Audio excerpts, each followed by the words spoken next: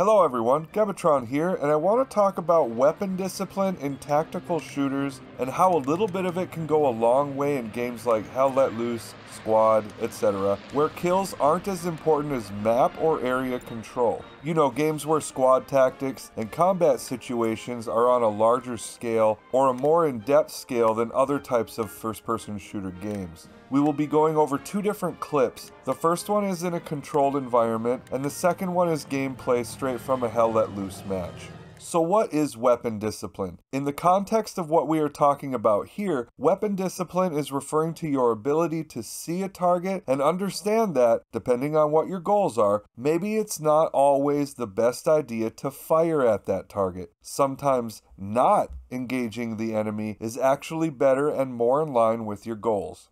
Here in our first example, we are observing to the south-southwest out of this building we see a target pop out and I miss, so the target gets back into cover.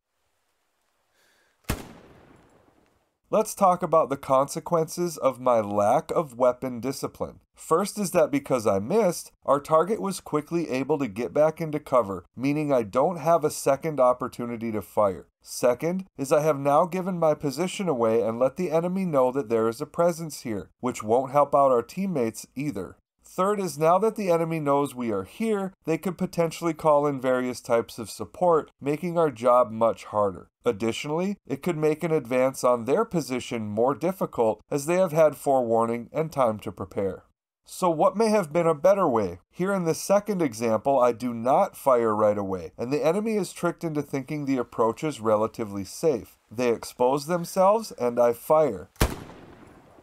You'll notice I still miss, but now the enemy is completely exposed, giving me multiple opportunities to fire. So that is an immediate benefit to me, but what about any of our team in the area? We still gave our position away, but perhaps through some of the chaos, our enemy soldier lost some awareness and is at least a little inaccurate with their reporting. Not to mention, we at least reduced the enemy strength by one. Our third example here is much like the last, but now because we let the enemy expose themselves before firing, not only have we drawn out the point man, but also some other squad members. This allows us to eliminate multiple targets, and the biggest benefit to this specific situation is that we can push the area they came from, knowing that the enemy is down three soldiers. This gives us a potential numbers advantage as we push in and attempt to fire and assault their OP. Again, those examples were controlled. A big thanks to Glow's members Wazowski, Wix, and Zarni for helping me out with that. This type of weapon discipline works best at the beginning of contact and becomes less viable as combat continues and draws out. That's important to keep in mind. Once combat is initiated, you're usually going to want to establish firepower superiority, but these types of ambush tactics, achieved through weapon discipline, can give you that extra slight edge in the beginning of an engagement. And there is a historical precedent for this type of action. The Germans specifically had what they called Schweige MG, or silent machine gun, where they open fire only at close proximity when the enemy cannot find cover during the assault anymore. I took this graphic from the video in the top right hand corner entitled German Defensive Tactics Eastern Front that was made by the Military History Visualized channel on YouTube. I'll link to both that video specifically and that channel in the description as I highly recommend you check it out if you are at all interested in World War II history. This next example comes directly from a match in Hell Let Loose. Here's our situation. We were defending Hugo's farm, which is down here, and our team just captured AA Network. This put us in a perfect position to move north and west to build some garrisons and eventually assault Brecourt Battery from the west. This path allowed us to skirt outside the normal traffic routes and avoid contact. My squad all understood what our situation was and were practicing weapon discipline. In this case, not firing on the enemy until necessary to help keep our movements and position unknown to the enemy. On top of this, we had the added benefit of friendly forces attacking the battery from the northwest, which was providing a distraction and establishing a front opposite of us. In other words, we had a perfect situation to sneak into the point to surprise and destroy the enemy as well as any of their spawns before they even knew what hit them.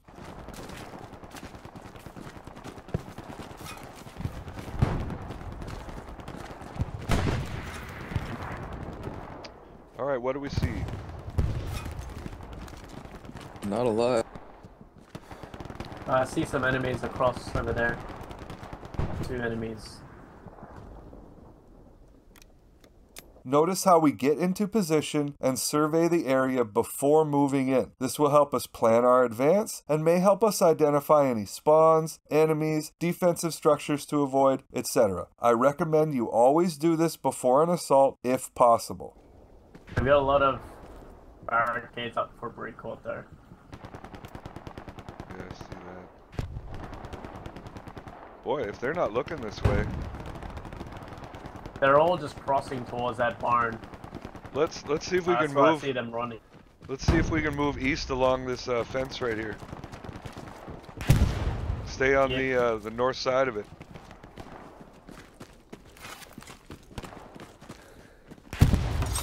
I place the OP to help us sustain our attack if we are unsuccessful our first attempt, but keep an eye on this guy here.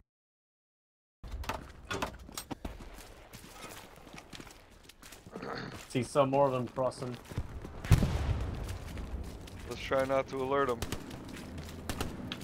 Good uh, tank left spawn, please. Yeah, I get you a tiger. and then there's that fucking... guy. Yeah, I, that was like, why? There you go, sweetie. Why are you making a scene? Thank you. There's always one. He opens fire and gives our position away. Now, I'm not calling Corporal Hank out here, as this type of play is pretty normal across the whole of the Hell Let Loose community, not to mention other tactical shooters. There was a lot of targets over there, and it can be hard to hold off in the face of so many potential kills. But this play did alert the enemy to our presence, and did get a lot of us killed. It had the potential to turn an easy play into an unsuccessful assault. Fortunately, we were able to overwhelm the enemy, and we did eventually take this point. So now that we ripped on poor Corporal Hank, let's rip on me a little bit. But why, Gebatron? You haven't done anything wrong, right? Anytime something goes wrong is a good time to evaluate your own role in it. I told my squad to stay quiet, but I didn't use proximity to make other players aware. So we can blame Corporal Hank all we want, but I bear some of the burden here too. I'm the officer that set this up. I'm an experienced player. I saw the opportunity and failed to communicate what I saw to the whole group around me. So you can learn from both of our mistakes.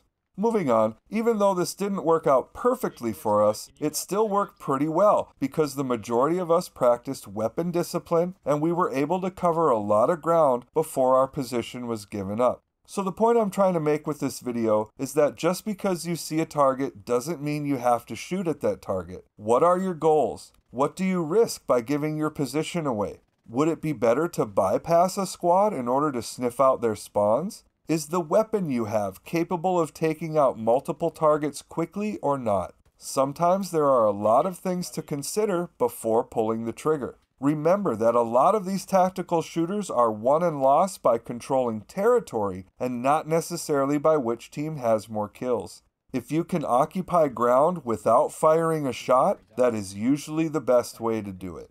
That's it for this one. I hope you learned something new or at least got some fresh perspective. Big shout out to Wazowski, Wix, Zarni, and Purple Hippopotamus, all members of Glow's Hell Let Loose community. Check the description for a link to join Glow's Discord if you are looking for a community to join.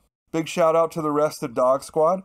There will also be links down there to check out military history visualized and the video I pulled that Schweiger MG graphic from, as well as a PayPal link if you'd like to support the channel directly. Please do all the things that help the algorithm. Thank you so much for all your continuing support and see you in the next one.